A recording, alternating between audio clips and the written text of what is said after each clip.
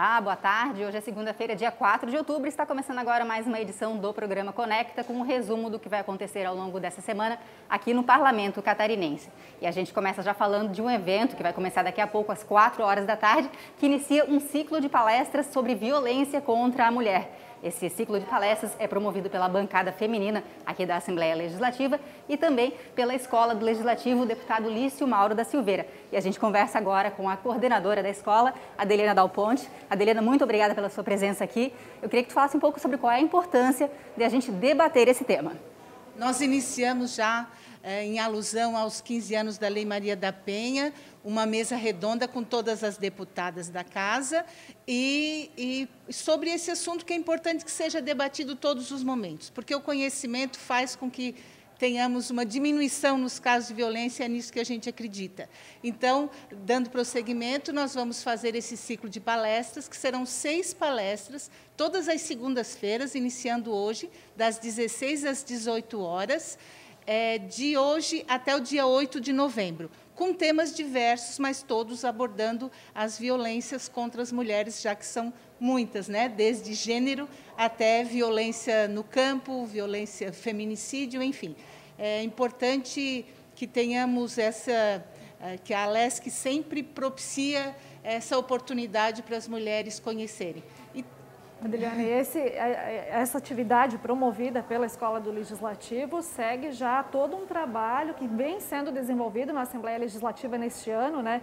Nós tivemos projetos bem importantes, como, por exemplo, a criação do Observatório da Violência contra a Mulher, a Procuradoria da Mulher, a campanha institucional da Assembleia Legislativa no rádio e TV esse ano também teve como foco, e a Escola do Legislativo, que é esse braço pedagógico do Parlamento Catarinense, também dá continuidade, então, nesse tipo de debate, nesse tipo de discussão que é sempre atual, sempre necessária, né?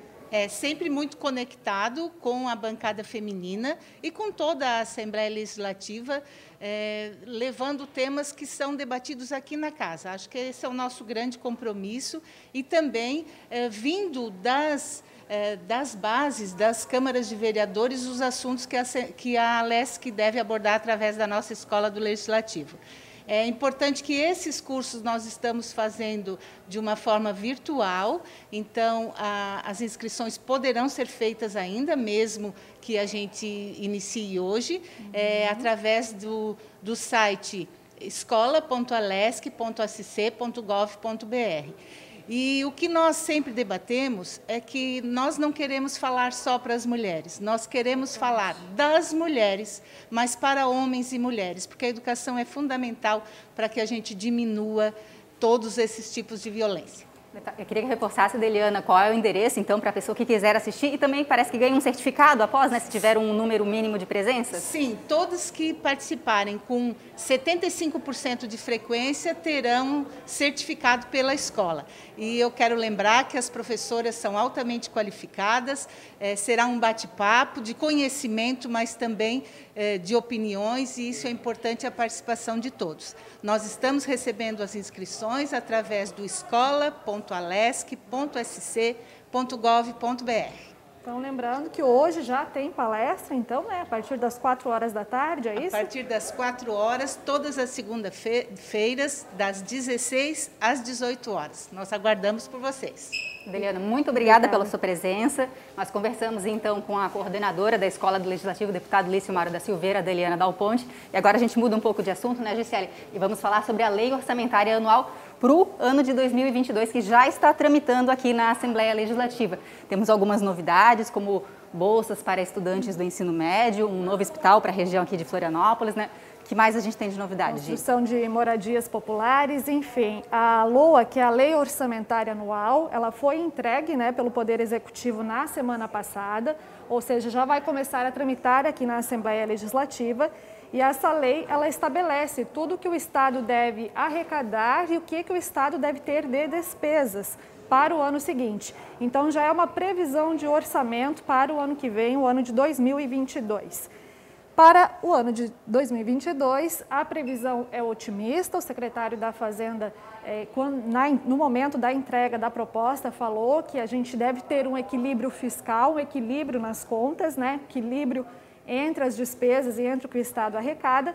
e isso vai permitir é, investimentos importantes aqui em Santa Catarina. Né? E nós destacamos, é, separamos uma artezinha com algumas das áreas que tem um incremento aí previsto pelo governo do estado, né? lembrando que o total estimado, deixa eu só separar aqui a informação, a receita total estimada para 2022 é de 37,1 bilhão, bilhões de reais. 37 bilhões de reais a receita estimada para 2022. E dentro desse valor estimado, né, descontando a, contando que o Estado arrecada e descontando as despesas, existe então essa estimativa de investimentos em várias áreas, que é o que a gente vai destacar para vocês. É, eu peço para o pessoal da produção separar a primeira arte com os investimentos previstos para a infraestrutura.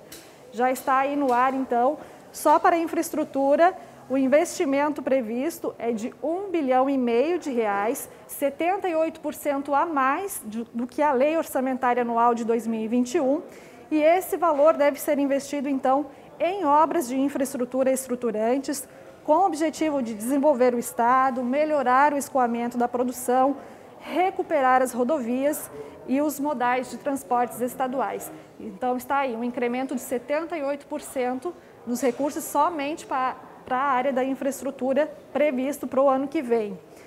A segunda tela que a gente tem separado para vocês são os investimentos previstos para a saúde.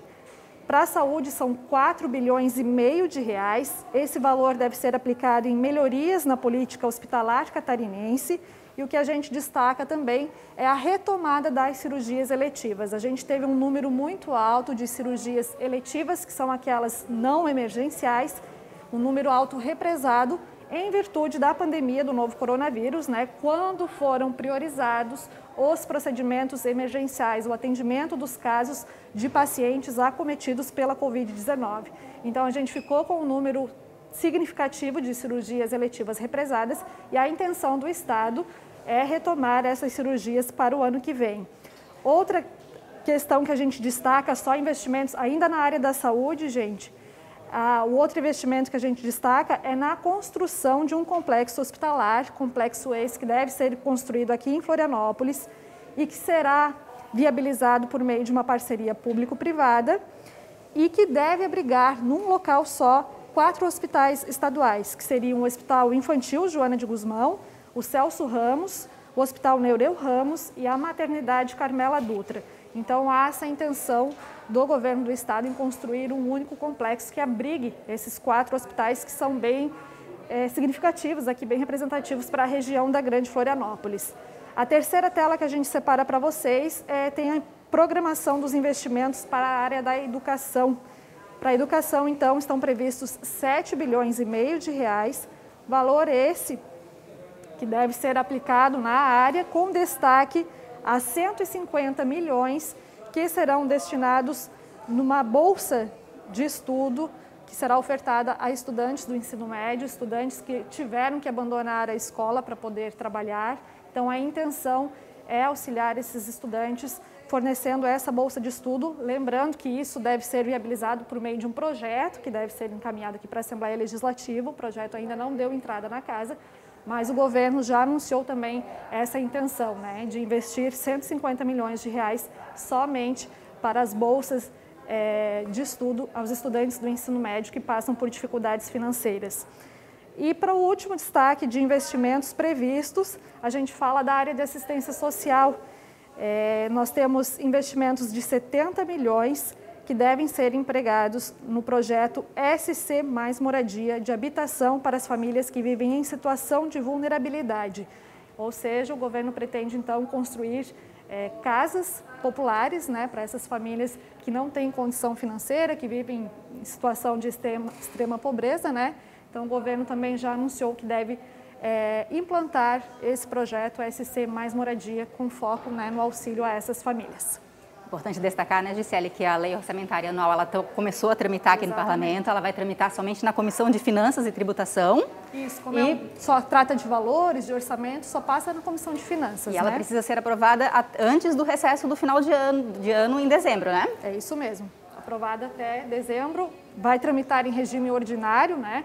mas no momento em que o projeto foi apresentado, o presidente da Assembleia Legislativa já destacou que os deputados devem dar celeridade na tramitação né, dessa proposta, lembrando que tem então até o final do ano para ser aprovada. Né? E o que vale destacar também é, foi o, o, que o secretário da Fazenda né, enfatizou a, e agradeceu a, o apoio, a participação, a atuação dos deputados aqui da Assembleia Legislativa, porque se foi possível chegar a esse equilíbrio fiscal, isso se deve também, em parte, ao trabalho aqui dos deputados, né, na aprovação de projetos importantes relacionados a essa questão de orçamento, né, questão fiscal aqui de Santa Catarina. Então, o trabalho dos parlamentares foi enaltecido também no momento da entrega desse projeto. Além desse projeto da Lei Orçamentária Anual, também já está tramitando aqui um outro projeto do Governo do Estado que prevê a venda, doação ou cessão de imóveis que pertencem ao Governo do Estado. É isso, né, Gisele? Qual é o mesmo. objetivo dessa proposta? É, esse projeto, ele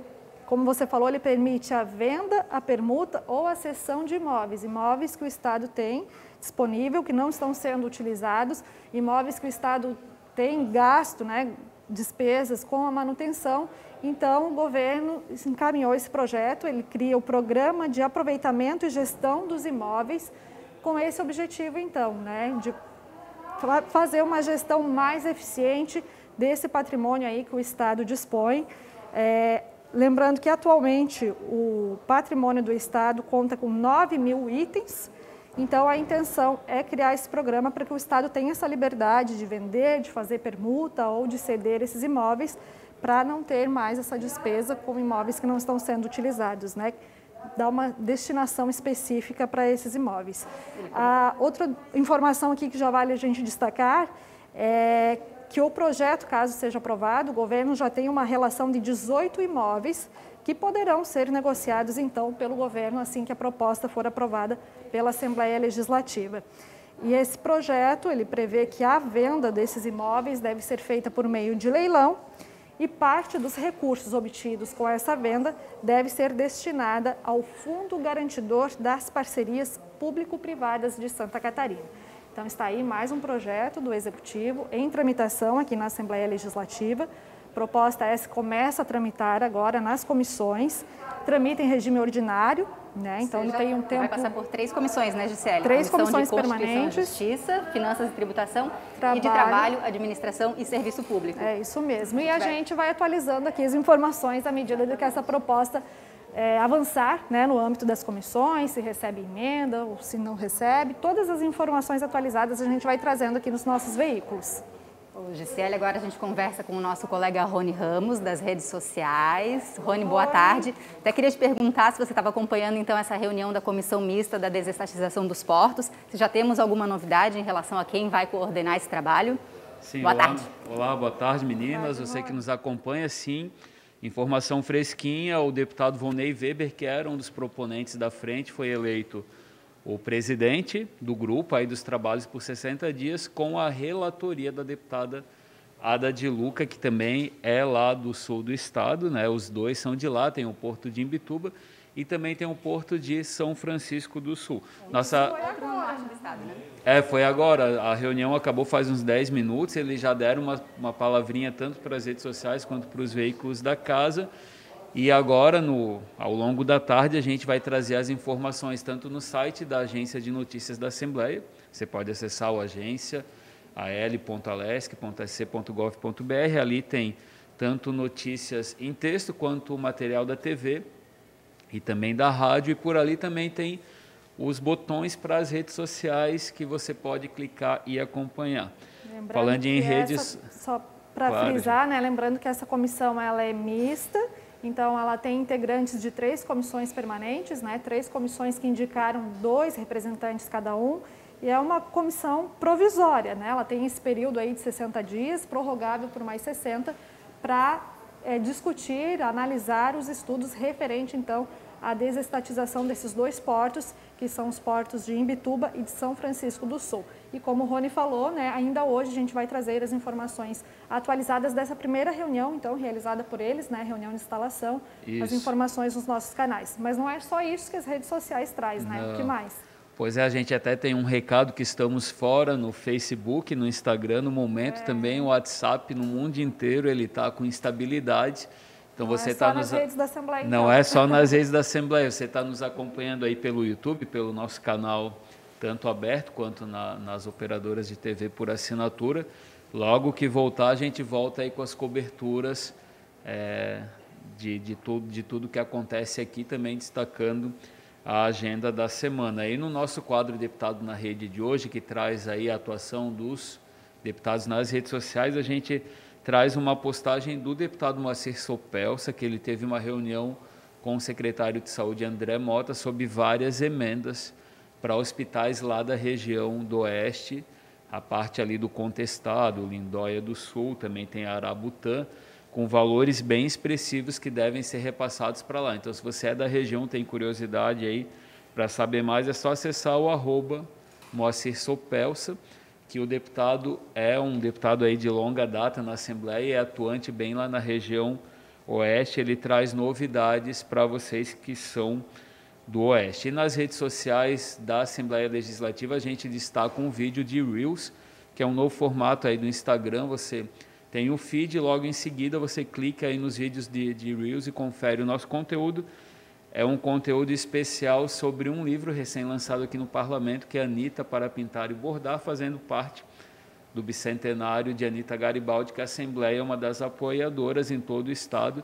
Diversos, é, diversas ações, diversos eventos, exposições já foram realizadas e a Assembleia, bem parceira, inclusive tem um um especial da TVA, né, Gi? E dele lá pelo YouTube, você só acessa o youtube.com barra Assembleia Legislativa, barra Assembleia SC, desculpa, digita lá Anitta, o Bicentenário de Anitta, já tem acesso ao material que o nosso colega Gutierrez Barão preparou e está bem especial. Bem, bem especial, resgata toda a história, toda a trajetória de Anitta Garibaldi, né, dentro dessa comemoração aí do bicentenário dessa personagem Sim. tão importante, né, para a história de Santa então, Catarina. São vários conteúdos para você curtir, compartilhar aí com seus grupos também de WhatsApp, a gente está dentro do WhatsApp assim que voltar, né? Estamos é, aí. O WhatsApp parou, mas a produção da Assembleia A produção continua e a vida continua, né? A gente é tá meio certo. que refém do WhatsApp. Mas, enfim, estamos aí. Desejo boa semana a todos, a vocês, meninas. Obrigada e... Semana cheia aqui na Assembleia, né? Bastante Rony, muito obrigada. Falando em semana cheia, agora vamos falar um pouco sobre a agenda dessa semana aqui no Parlamento. No começo do Conecta, a gente entrevistou a Adeliana Dal Ponte, que é a coordenadora da Escola Legislativa, já falando sobre uma palestra que começa às 4 horas da tarde sobre violência contra a mulher. Esse é o evento de hoje, né, Gisele? Mas o que mais a gente tem na nossa agenda? E com relação a esse evento de hoje, lembrando que a transmissão né, está disponível no canal da Escola do Legislativo no YouTube, como a Deliana falou, não só com foco no público feminino, mas os homens também estão convidados a participar e acompanhar todo esse conteúdo aí referente à prevenção da violência contra as mulheres. Continuando na agenda da semana aqui no Parlamento Catarinense, nós vamos agora para terça-feira, quando estão programadas a partir das 9 horas, reunião da Comissão de Defesa dos Direitos da Criança e do Adolescente. Logo mais às 10 horas, reunião da Comissão de Constituição e Justiça. Às duas da tarde, a sessão ordinária, direto aqui do plenário Osni Regis. Lembrando que agora é exclusivamente presencial, né, às terças e quartas. Às 5 horas da tarde, a gente tem a reunião da Comissão de Turismo e Meio Ambiente. E às 5 e meia, a reunião da comissão mista, outra comissão mista aqui da Assembleia Legislativa, e que trata exclusivamente do plano de cargos dos policiais militares e do Corpo de Bombeiros aqui de Santa Catarina. Já para quarta-feira, dia 6, as atividades iniciam às 9 horas da manhã, com a reunião da Comissão de Saúde, às 9h30, reunião da Comissão de Constituição e Justiça, em conjunto com a Comissão de Finanças e Comissão de Trabalho. Às 10h30 da manhã, nós temos a reunião da Comissão de Finanças. À 1h30 da tarde, reunião da Comissão de Assuntos Municipais. Às 2 horas, a sessão ordinária. E às 7 horas da noite, sessão solene em homenagem aos 37 anos de fundação da Oktoberfest. Já para quinta-feira, dia 7, nós temos a sessão ordinária às 9 horas da manhã e às 4 horas da tarde, um seminário virtual com oficinas da memória, da longevidade, da inclusão digital, qualidade de vida pós-pandemia e exposição fotográfica itinerante. É um seminário com foco no, na população idosa aqui de Santa Catarina. Como podemos assim, dizer, né, Gisele, mais uma vez uma semana bem cheia aqui no Parlamento, que vai ter toda a transmissão pelas redes sociais aqui da Assembleia Legislativa, também pelo nosso canal no YouTube e direto na televisão também no canal da TV da Assembleia Legislativa. Muito obrigada, uma boa tarde para você e uma boa tarde para vocês também que nos acompanham.